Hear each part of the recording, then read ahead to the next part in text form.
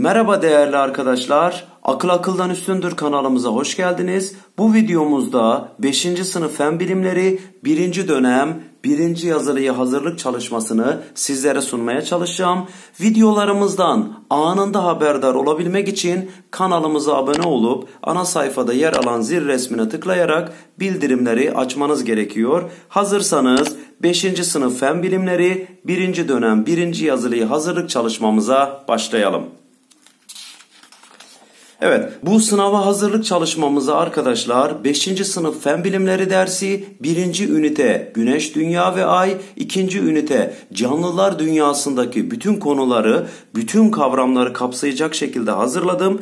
Yine de arkadaşlar siz sınava hazır olabilmek için tam olarak hazır olabilmek için hazırlamış olduğumuz ünite özetlerine de ne yapabilirsiniz? Göz atabilirsiniz. Evet A bölümüyle sınava hazırlık çalışmamıza başlayalım. A bölümü Aşağıda boş bırakılan yerleri uygun kelimelerle tamamlayınız. Burada kelimelerimiz var. Bu kelimelerimizi aşağıdaki cümlelerdeki boşluklara ne yapacağız? Yerleştireceğiz. Evet kelimelerimiz hidrojen, hilal, evreleri, katmanları, sınıflandırma, mikroskobik canlılar, krater, akciğer, ışık küre, uydusu, küreye, helyum.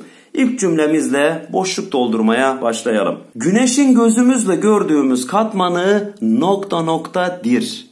Arkadaşlar özetimizde de bahsetmiştim. Güneş de dünyamız gibi neydi arkadaşlar? Katmanlardan oluşuyordu. En merkezde çekirdek vardı. Daha sonra ise ışık küre, renk küre ve taç küre vardı arkadaşlar. Ama bizim güneşin gözümüzle gördüğümüz katmanı hangisiydi arkadaşlar? Işık küreydi. Evet. Demek ki neymiş? Güneşin gözümüzle gördüğümüz katmanı ışık küre arkadaşlar. Evet ikinci cümlemiz memeliler nokta nokta solunumu yaparlar. Memeliler hangi solunumu yapıyorlardı arkadaşlar? Akciğer solunumu yapıyorlardı. Evet bu boşluğumuza da ne gelecek? Akciğer gelecek. Üçüncü cümlemiz güneş, dünya ve ayın geometrik şekli nokta nokta benzer. Güneşin, dünyanın ve ayın geometrik şekli neye benziyordu arkadaşlar? Küreye benziyordu. Evet bu boşluğumuza da ne gelecek? Küreye gelecek. Diğer cümlemiz güneşin de dünya gibi nokta nokta vardır. Evet az önce bahsettiğimiz gibi arkadaşlar güneşin de dünya gibi neyi vardır? Katmanları vardır. Evet bu boşluğumuza da ne gelecek? Katmanları gelecek. Diğer cümlemiz ayın şişkin ay ve nokta nokta olmak üzere iki ara evresi vardır. Evet ayın arkadaşlar birinci ara evresi şişkin aydı. Diğeri neydi arkadaşlar? Hilaldi. Evet bu boşluğumuza ne gelecek? hilal gelecek. Diğer cümlemiz dünyadan baktığımızda ayın aydınlık görünen yüzü belli şekillerde görünür. Buna ayın nokta nokta denir. Buna ne diyoruz arkadaşlar biz? Ayın evreleri diyoruz arkadaşlar. Evet buraya da ne gelecek? Evreleri gelecek. Diğer cümlemiz güneş sıcak gazlardan oluşur ve en çok nokta nokta gazı içerir. Evet güneşin yapısında en çok bulunan gaz hangisiydi arkadaşlar? Hidrojen gazıydı evet. Buraya da ne gelecek arkadaşlar? Hidrojen gelecek. Evet devam edelim arkadaşlar diğer cümlemize. Ayın yüzeyinde meteorların çarpması sonucu oluşan büyük çukurlara nokta nokta denir. Evet Ayın yüzeyinde arkadaşlar meteorların çarpmasıyla oluşan büyük çukurlara biz ne diyorduk arkadaşlar? Krater diyorduk. Evet buradaki boşluğumuza da ne gelecek? Krater gelecek. Diğer cümlemiz canlıların benzer özelliklerine göre gruplandırılmasına nokta nokta denir. Evet bu boşluğumuza ne gelecek arkadaşlar? Bu boşluğumuza da sınıflandırma gelecek arkadaşlar. Evet bu boşluğumuza da sınıflandırma gelecek.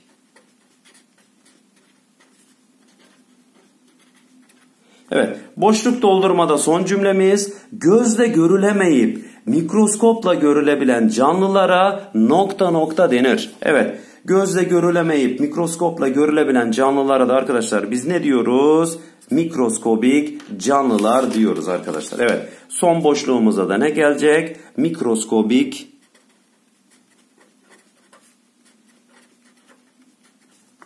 mikroskobik canlılar gelecek. Evet. Bu boşluk doldurmamızla beraber arkadaşlar ne yaptık? Boşluk doldurma sorularımızı bitirmiş olduk. Hemen diğer bölümümüze geçelim. B bölümü. Aşağıdaki cümlelerden doğru olanların başına D, yanlış olanların başına Y harfini yazınız demiş arkadaşlar. Burada da yine 10 tane cümlemiz var. E, cümledeki ifademiz doğruysa başındaki kutucuğa D yazacağız arkadaşlar. Yanlışsa Y yazacağız. İlk cümlemizle başlayalım. Güneşin çapı dünyanın çapının 109 katıdır. Bu ifade doğru mudur arkadaşlar? Evet bu ifademiz doğrudur. İkinci cümlemiz ay kendi etrafında dolanma, dünyanın etrafında dönme hareketi yapar. Bu doğru bir ifade midir arkadaşlar? Bu ifademiz yanlıştır arkadaşlar. Çünkü ay kendi etrafında dönme, dünyanın etrafında ise dolanma hareketi yapar. Üçüncü cümlemiz canlılar dünyasını inceleyen ve canlıları sınıflandıran ilk bilim insanı Carl Linne'dir. Bu ifade doğru mudur arkadaşlar? Bu ifademiz yanlıştır. Çünkü canlılar dünyasını inceleyen ilk bilim insanı kimdir arkadaşlar? Aristo'dur. Carl Linne ise arkadaşlar günümüzde kabul görmüş canlıları sınıflandırma şeklini arkadaşlar ortaya çıkaran bilim insanıdır. Diğer cümlemiz dünya kendi ekseni etrafında saat yönünün tersi yönünde döner. Bu ifademiz doğru mudur? Evet bu ifademiz doğrudur arkadaşlar. Diğer cümlemiz canlılar, mikroskobik canlılar, mantarlar, bitkiler ve hayvanlar olmak üzere dört grupta incelenir. Bu ifade doğru mudur? Evet bu ifade doğrudur arkadaşlar. Canlılar arkadaşlar dört gruba ayıran bilim insanı kimdi? Az önce bahsettiğimiz Carl Linney'di arkadaşlar. Burada da ismi geçiyordu. Diğer cümlemiz yeni ay evresinde ayın ışık alan yüzünün tamamı dünyadan görülür. Bu ifade doğru mudur? Bu ifademiz yanlıştır arkadaşlar. Çünkü yeni ay evresinde ayın dünyaya bakan yüzü tamamen karanlıktır arkadaşlar. Ayın dünyaya bakan yüzünün tamamen aydınlık olduğu evre hangisiydi arkadaşlar? Dolunay evresindeydi. Evet bu ifade yanlış. Diğer cümlemiz ayın dünya etrafındaki bir tam dolanımı 29 gün sürmektedir. Bu ifade doğru mudur? Bu ifademiz yanlıştır arkadaşlar. Çünkü ayın dünya etrafındaki bir tam dolanımı 27.3 dünya gününe eşitti arkadaşlar.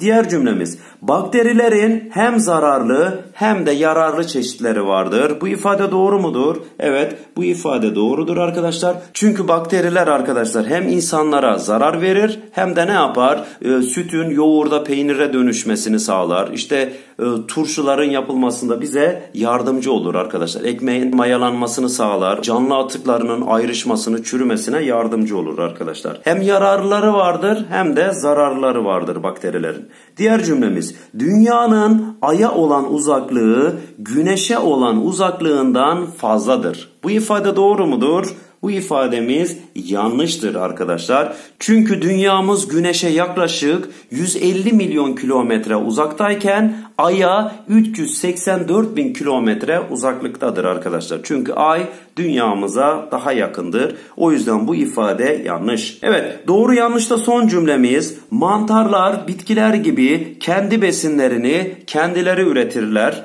Bu ifade doğru mudur? Bu ifade yanlıştır arkadaşlar. Çünkü mantarlar kendi besinlerini kendileri üretemezler. Çünkü yapılarında arkadaşlar besin üretebilecek organlar yoktur arkadaşlar. O yüzden mantarlar bitkiler gibi kendi besinlerini kendileri üretemezler. Evet bu cümlemizle beraber doğru yanlış bölümünü de bitirmiş olduk arkadaşlar. Hemen diğer bölüme geçelim. C bölümünde arkadaşlar burada ayın evreleri verilmiş ve bu evrelerin altına isimlerini yazmamız isteniyor arkadaşlar. Hemen başlayalım isterseniz arkadaşlar. Burada 5 tane evre vermiş arkadaşlar. Tabii ayın 4 tane ana 2 tane de ara evresi vardı arkadaşlar. Burada demek ki 4 tane ana evremiz var. 1 tane de ara evremiz var. Hemen bakalım. Arkadaşlar birinci evreye baktığımız zaman hilal şeklinde görünüyor arkadaşlar. Evet birinci evremiz nedir arkadaşlar? Hilaldir. Evet. Birinci evremizin ismi hilaldir. Hilal evresi de ara evrelerdendir arkadaşlar. Evet hemen ikinci resmimize bakalım. İkinci resme baktığımız zaman arkadaşlar ayın sağ tarafının aydınlık olduğunu görüyoruz. Arkadaşlar ayın sağ tarafı aydınlıksa buna ne diyoruz biz? İlk dördün diyoruz arkadaşlar. Demek ki ikincisi neymiş? İlk dördünmüş. Evet ilk tarafı yani ayın sağ tarafı aydınlıksa arkadaşlar bu evre hangisiydi? İlk dördünde arkadaşlar. Eğer ayın sol tarafı arkadaşlar aydınlıksa bu hangi evreydi? Son dördündür arkadaşlar. Bu da aklınızda olsun. Son dördün. Sağ taraf aydınlıksa yani ilk taraf aydınlıksa ilk dördün, sol taraf aydınlıksa arkadaşlar bu da nedir? Son dördündür. Ay tamamen dünyadan karanlık şekilde görünüyorsa bu neydi arkadaşlar? Yeni aydır. Evet buna da yeni ay yazıyoruz. Ay dünyadan arkadaşlar parlak bir şekilde görünüyorsa arkadaşlar dünyaya dönük kısmı tamamen aydınlıksa bu da neydi? Dolunaydı. Evet bu bölümde bu şekilde arkadaşlar. Demek ki birinci evremiz hilal. Hilal aynı zamanda ara bir evredir arkadaşlar. Ayın sağ tarafı aydınlıksa ilk dördün, sol tarafı aydınlıksa son dördün, Ay dünyamızdan karanlık şekilde görünüyorsa yeni ay, ay dünyamızdan tamamen aydınlık şekilde görünüyorsa bu da neydi? Dolunaydı arkadaşlar. Evet C bölümü bu şekilde. Hemen D bölümüne geçelim. D bölümünde arkadaşlar burada omurgalı hayvanlar verilmiş. Bu omurgalı hayvanlar arkadaşlar biz sınıflandıracağız ve karşılarına ne yapacağız arkadaşlar? Çarpı işareti koyacağız. Çünkü burada omurgalı hayvanlar verilmiş. Biz omurgalı hayvanları arkadaşlar ne yapıyorduk? 5 gruba ayırıyorduk. Balıklar, kurbağalar, sürüngenler, kuşlar ve memeliler. Burada 10 tane arkadaşlar hayvan verilmiş. Bu hayvanlar hangi gruba aitse o gruba arkadaşlar ne yapacağız? Çarpı işareti koyacağız. Hemen başlayalım. Alabalık.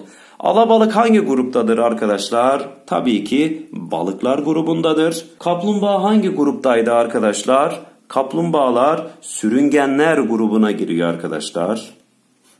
Yarasa, yarasa arkadaşlar biraz kafanızı karıştırabilir. Size kuş gibi gelebilir ama yarasalar arkadaşlar memeliler grubuna giriyordu. Kanarya, kanarya arkadaşlar bir kuştur ve kuşlar grubuna girer. Semender, semender dediğimiz arkadaşlar neydi? Kuyruklu kurbağadı. Kurbağalar grubuna giriyor. Timsah arkadaşlar sürünerek hareket ettiği için sürüngenler grubuna giriyor. Penguenler arkadaşlar kuşlar grubuna giriyor. Evet bu da şaşırtıcı bir hayvan arkadaşlar. Evet penguenler de kuşlar grubuna giriyor. Uçamayan kuşlardan birisi arkadaşlar penguenler deve kuşuyla beraber. Palamut, palamut arkadaşlar balıklar grubuna giriyor. Kara kurbağası, kara kurbağası hangi gruba giriyor arkadaşlar? Kurbağalar grubuna. Son olarak balina. Balina arkadaşlar denizde yaşayan bir balık gibi görünse de grup olarak omurgalı hayvanlardan memeliler grubuna giriyor arkadaşlar. Evet.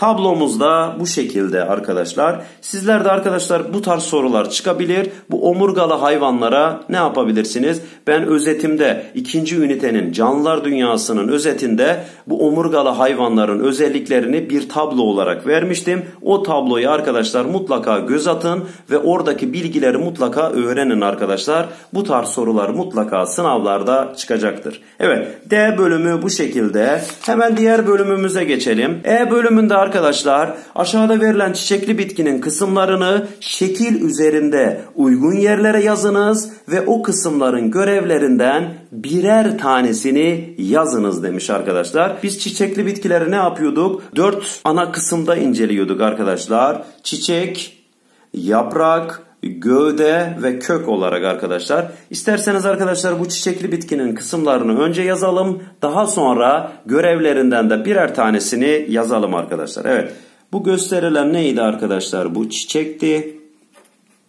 Resimde gösterilen arkadaşlar bu yapraktı. Burası neydi arkadaşlar? Bitkimizin gövdeydi. Burası da neydi arkadaşlar? Köktü. Evet isterseniz bu kısımların görevlerinden de arkadaşlar birkaç tanesini ne yapalım boşluklara yerleştirelim. Evet çiçek ne yapıyordu arkadaşlar? Bitkinin üreme kısmıdır arkadaşlar. Evet hemen yazalım. Bitkinin üreme kısmıdır. Evet demek ki çiçek neymiş arkadaşlar? Bitkinin üreme kısmıdır. Ve aynı zamanda da arkadaşlar ne yapar? Bitkinin bitkinin çoğalmasını sağlar.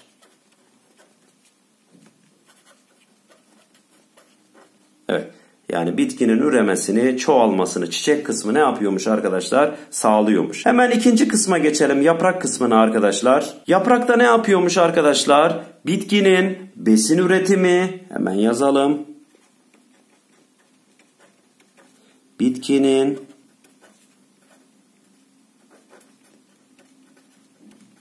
bitkinin besin üretimi, gaz alışverişi,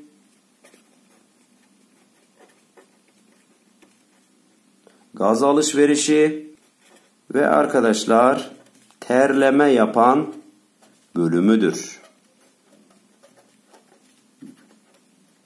Bölümüdür. Evet. Demek ki arkadaşlar çiçekli bitkinin kısımlarından yaprakta ne yapıyormuş? Bitkinin besin üretmesini sağlıyormuş, gaz alışverişini sağlıyormuş, bir de terleme yapan bölümüdür. Terleme de neydi arkadaşlar? Bitki içindeki zararlı atıkları ne yapıyordu arkadaşlar? Bu terleme yoluyla dışarıya atıyordu. Evet yaprakta bu şekilde arkadaşlar görevleri. Çiçekli bitkinin üçüncü kısmı neydi? Gövdeydi arkadaşlar. Bakalım gövdenin de görevleri nelermiş? Gövde ne yapıyordu arkadaşlar? Bitkinin dik durmasını sağlıyordu. Birinci görevi buydu. Bitkinin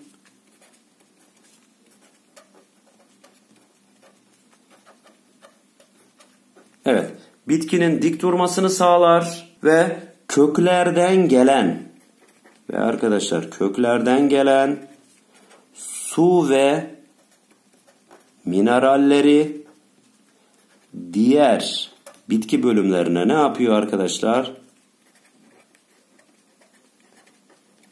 Diğer bitki bölümlerine iletiyor. Evet gövdenin görevi de neymiş arkadaşlar? Bitkinin dik durmasını sağlıyor. Köklerden gelen su ve mineralleri de diğer bitki bölümlerine ne yapıyor arkadaşlar? İletiyor. Son olarak kökümüz arkadaşlar. Kökte arkadaşlar ne yapıyor? Bitkinin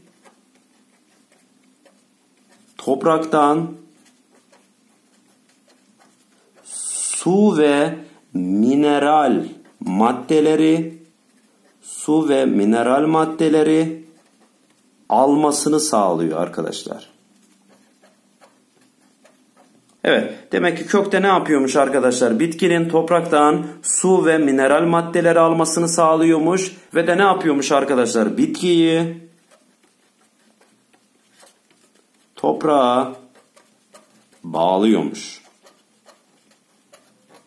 Evet Çiçekli bitkinin kısımları ve görevleri de bu şekilde arkadaşlar. Bu tarz soruda mutlaka gelecektir. Evet bitkinin bölümlerini ve bu bölümlerinin de arkadaşlar kısımlarında görevlerine mutlaka göz atın. Bu bölümde bu şekildeydi arkadaşlar. Hemen diğer bölümümüze, son bölümümüze geçelim. Son bölümde arkadaşlar ne verdim sizlere? Çoktan seçmeli sorularımız var. 13 tane çoktan seçmeli sorumuz var arkadaşlar. Hemen birinci sorumuzda ne yapalım? Çoktan seçmeli sorularımıza başlayalım. Birinci sorumuz. Aşağıdakilerden hangisi mikroskobik canlı değildir? Arkadaşlar mikroskobik canlılar neydi? Sadece mikroskopla görülebilen canlılardı. Mikroskopik canlılara biz amipi örnek verebiliriz, öglenayı örnek verebiliriz, terliksi hayvanı örnek verebiliriz ama karınca mikroskobik canlılardan değildir arkadaşlar. Karıncalar nedir? Omurgasız canlılardan birisidir arkadaşlar. Evet birinci soruda aradığımız doğru cevap D şıkkı. İkinci sorumuz. Canlıları sınıflandıran ilk bilim insanı aşağıdakilerden hangisidir? Kimdi arkadaşlar? Aristo'ydu. Evet. İkinci soruda aradığımız doğru cevap nedir? Aristoteles arkadaşlar. Hemen üçüncü sorumuza geçelim. Üçüncü sorumuz. Güneş orta büyüklükte bir yıldız olmasına rağmen diğer yıldızlardan çok daha büyük görünür. Bu durumun nedeni aşağıdakilerden hangisidir? Bunun nedeni de neydi arkadaşlar? Güneşin diğer yıldızlara göre dünyamıza daha yakın olmasıydı. Evet bizim aradığımız doğru cevap 3. soruda nedir? C şıkkıdır arkadaşlar. Güneşin dünyaya diğer yıldızlardan daha yakın olmasıdır. Dördüncü sorumuz aşağıdakilerden hangisi çiçeksiz bitki örneği değildir? Evet Bakalım at kuyruğu çiçeksiz bitkidir, ciğer otu çiçeksiz bitkidir, kara yosunu çiçeksiz bir bitkidir ama gül arkadaşlar çiçeksiz bir bitki değil, çiçekli bir bitkidir. O yüzden bizim dördüncü soruda aradığımız doğru cevap B şıkkıdır. Hemen diğer sorumuza geçelim. Beşinci sorumuz. Yukarıdaki resimde verilen mantar çeşidi aşağıdakilerden hangisidir? Resimde gördüğümüz mantar çeşidi hangisidir arkadaşlar? A'daki şapkalı mantardır. Evet. Beşinci soruda aradığımız doğru cevap A şıkkı şapkalı mantar. Altıncı sorumuz. Dünyadan Dolunay evresinin gözlenebilmesi için ayın 1, 2, 3 ve 4 ile belirtilen konumlardan hangisinde olması gerekir demiş arkadaşlar. Burada güneşimiz var, dünyamız var ve ay ne yapıyor arkadaşlar? Dünyanın etrafında dolanıyor. Arkadaşlar ay dolunay evresinde olabilmesi için hangi konumda olması gerekir? Tabii ki 3 evresinde arkadaşlar. Dolunay evresinde ay dünyamızdan aydınlık olarak görünüyordu arkadaşlar. Bu da hangisidir arkadaşlıklardan? Tabii ki 3 numaradır. Evet bizim aradığımız doğru cevap 6. soruda C şıkkı 3 numaralı. Demek ki ay 3 numaralı konumda dünyamızdan arkadaşlar aydınlık şekilde görünüyormuş. Bu evremizde neydi? Dolunay evresiydi. Evet hemen diğer sorumuza geçelim. Yedinci sorumuz aşağıdakilerden hangisi kuşlar grubuna ait değildir? Penguen kuştur, deve kuşu kuştur, tavuk kuştur ama yarasa arkadaşlar neydi? Az önce de bahsetmiştik. Memeliler grubuna giriyordu arkadaşlar. Omurgalı hayvanlardan memeliler grubuna giriyordu. Sekizinci sorumuz aşağıdaki özelliklerden hangisi balıklara ait bir özellik değildir? Bakalım yumurtlayarak çoğalırlar. Evet.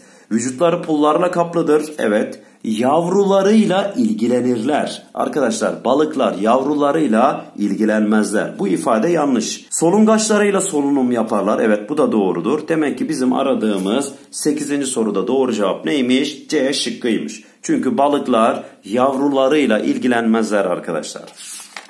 Diğer sorumuz, dokuzuncu sorumuz.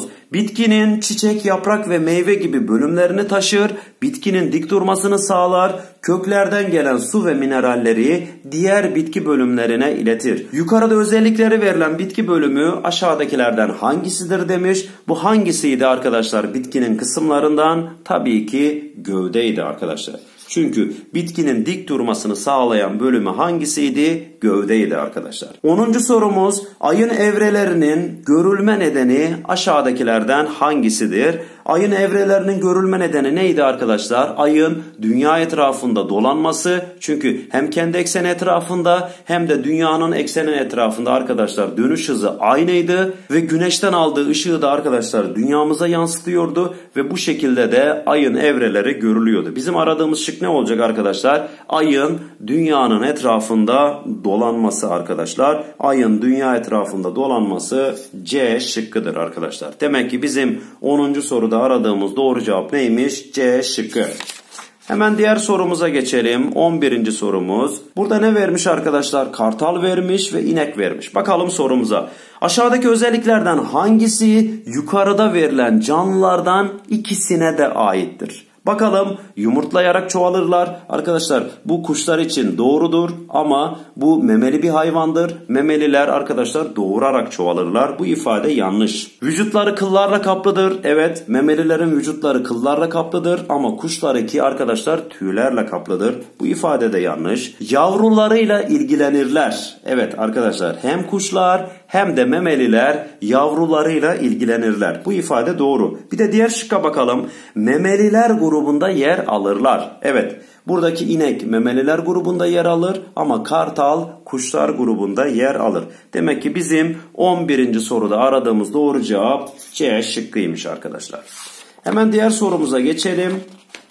12. sorumuz Ay dolunay evresinden 2 hafta sonra hangi evrede yer alır? Arkadaşlar ayın evreleri arasındaki süre neydi? Bir haftaydı arkadaşlar. Bir hafta süreyle ne oluyordu? Ay değişik evrelerde görünüyordu arkadaşlar. Demek ki ilk dolunay evresindeymiş. Bir hafta sonra ne olacaktır arkadaşlar? Son dördün olacaktır. Daha sonra bir hafta sonra ne olacaktır? Tekrar yeni ay evresine dönecektir. Demek ki iki hafta sonra ay hangi evrede yer alır arkadaşlar? Yeni ay evresinde yer alır. 12. soruda aradığımız doğru cevap A şıkkı. 13. ve son sorumuz mikroskopik canlılarla ilgili olarak aşağıdaki ifadelerden hangisi yanlıştır? Ancak mikroskopla görülebilirler. Evet doğrudur. Hava, su, toprak gibi bütün ortamlarda bulunabilirler. Evet doğrudur. Verem, tifo ve kolera gibi hastalıklara yol açabilirler. Evet doğrudur. Mikroskobik canlıların hepsi zararlıdır. Arkadaşlar bu ifademiz yanlıştır. Çünkü bazı mikroskobik canlılar bize yararlıydı arkadaşlar. Çünkü sütün yoğurda ve peynire dönüşmesi, ekmeğin mayalanması, turşuların oluşması arkadaşlar, bitki ve canlı atıklarının ayrışması, çürümesi bunlar hep mikroskobik canlılar sayesindeydi arkadaşlar. Çünkü mikroskobik canlıların sadece zararları yoktur, yararları da vardır. O yüzden bu ifade yanlıştır arkadaşlar. Evet 13. soruda aradığımız doğru cevap D şıkkı. Evet bu sorumuzla beraber arkadaşlar 5. sınıf fen bilimleri 1. dönem 1. yazılıya hazırlık çalışmamızı burada bitirmiş olduk arkadaşlar. Umarım sizler için faydalı bir video olmuştur arkadaşlar. Sınavlarınızda şimdiden başarılar diliyorum. Başka bir eğitici videoda görüşmek dileğiyle hoşçakalın.